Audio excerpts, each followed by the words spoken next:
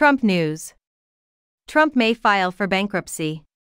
George Conway, Judge Arthur Engoron levied a fine of $355 million plus interest and penalties on Donald Trump last week. Experts, including attorney George Conway, believe that Trump will likely declare bankruptcy in order to postpone payment. After announcing their divorce, Kellyanne Conway and her husband, Conway, responded to a post on X, formerly Twitter, that implied the former president might file for bankruptcy. Kellyanne was Trump's advisor in the White House. Conway is the board president of the Society for the Rule of Law Institute. David Cay Johnston, an investigative journalist and Syracuse law lecturer, wrote on social media that Donald Trump is likely to file for bankruptcy in order to postpone paying over $500 million in damage awards.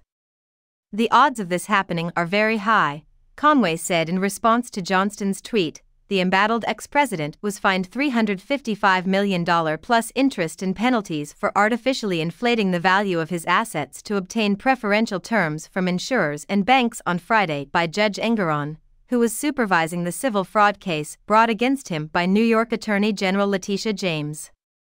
The Democrat judge from New York also barred Trump and his two oldest sons from being directors or officers of any companies in the state for three years and two years, respectively. Another recent case involving Trump and defamation was the $83.3 million judgment against writer Jean E. Carroll. A court finds Trump guilty of sexually assaulting her in a New York department store in the mid 1990s in May 2023 uh, from four separate criminal cases Trump faces 91 felony counts. Even in the New York civil fraud trial, the ex president, who is now leading the Republican primary, maintained his innocence. Since the ex president has promised to appeal, the money Engoron ordered will not be due immediately. Early on Wednesday, Newsweek reached out to Johnston, the Society for the Rule of Law, and the firm of Trump lawyer Alina Habba via email to request a statement. Johnston predicted in Monday's DC Report piece that Trump would certainly follow in the bankruptcy filing. Footsteps of conspiracy theorist Alex Jones and former NYC Mayor Rudy Giuliani, who also faced overwhelming legal bills. Uh, as far as Johnston is concerned, Trump may seek to avoid paying court ordered judgments for defamation by declaring bankruptcy before to March 12. Johnston noted that Trump has until Monday. March 12 to file an appeal challenging the ruling directing the payment of $83.3 million to Carroll.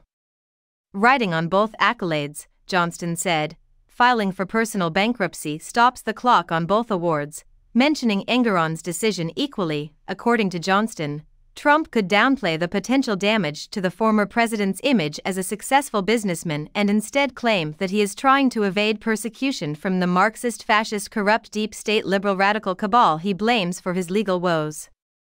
Even if Trump files for bankruptcy, he may still be obligated to pay the money that was requested of him. As evidence, Johnston referred to his colleague and bankruptcy law professor at Syracuse University College of Law, Gregory L. Germain, who predicted that it would see him through to November 5.